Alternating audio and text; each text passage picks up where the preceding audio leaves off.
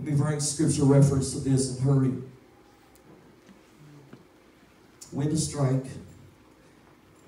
I'm at uh, 2 Samuel 5, beginning with verse 17.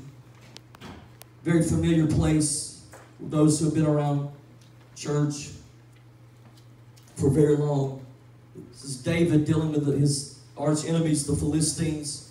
It says, Now when the Philistines heard that they had anointed David king over Israel, all the Philistines went up to search for David. And David heard of it and went down to the stronghold. Isn't it something that the enemy, the Philistines, moved when they heard that David was anointed as king? Yeah. And the Philistines were heathens. They were heathens. In other words, a heathen is someone who worships other gods. And so, in their in their connection with quote other gods or demonic spirits, something in them knew that David being anointed king was trouble for them. Yeah. That's why when an anointed woman or man of God stands up, completely sells out for God, and goes after the calling and the will of God, the enemy understands, oh, I'm in trouble. I've got to send the Philistines. I've got to send the enemies of hell. And that's why he's come after your life. He knows that you got a calling, that you have an anointing. And he's afraid of it. He's afraid of it. There's no one better to make afraid than the devil because he's been working all your life to make you afraid. Won't you turn the tables and scare him? How do I scare him? Give him everything and go after the call of God on your life as an anointed man and woman of God. You, you're scaring the devil to death. Go ahead. He needs it. And he deserves it. You don't. Tell your neighbor, you don't deserve to be scared.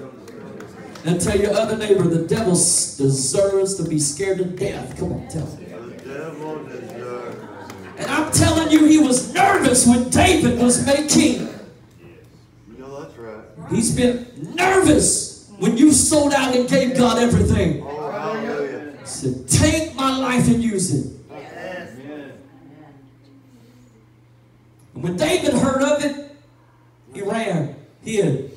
No, that's not what it says. He went down to the stronghold. When David heard of it, he went to where the problem was.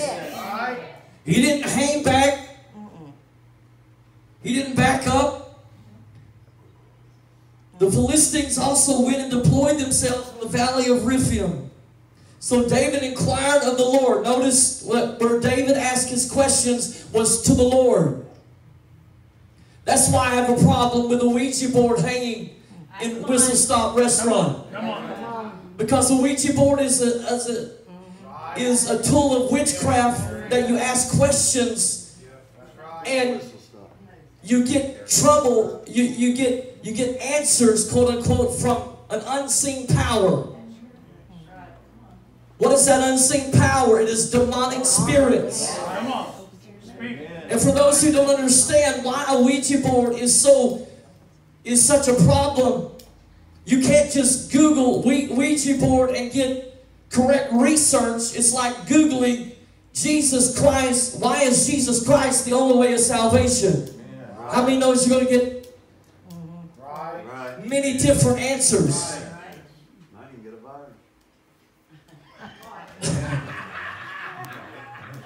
You're going to get so many different answers. For us, we don't have to Google that because we believe the Bible. And the Bible specifically says that individuals should seek no other gods and should seek no other power but the one true God of heaven. And that the righteous should not attempt to communicate with the dead. If you really get to the to the depths of a Ouija board, and no one they'll try on on, on, Google to, to, to give a date of when Ouija boards were first made, but they really don't know because it goes so way back. Just like seances and so forth. When did they start having seances? It goes so far back. A Ouija Ouija board is steeped in communication with the dead, as is seances, as is the Yes, come on. the most of what I deal with when I go to Africa and I'm dealing with demonic spirits and I'm dealing with their problems with witchcraft, the biggest thing that I deal with is their belief in communicating with the dead and that that brings them blessing and good. And so you see how it's all tied together. This communication with the dead. The problem in Africa, they don't get the dead, they get evil spirits. The problem with seances, they don't get the dead, they get evil spirits. The problem with Ouija boards, they do not get just this unseen, cute little power that is giving them answers. They get evil spirits. And it's not something to play with. Not even cool. So that's why I have a problem. That's right.